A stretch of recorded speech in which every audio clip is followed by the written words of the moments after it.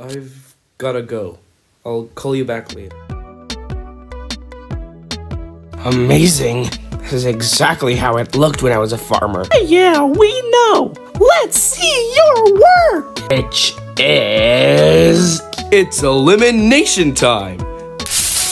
Huh. Prizes are pizzas.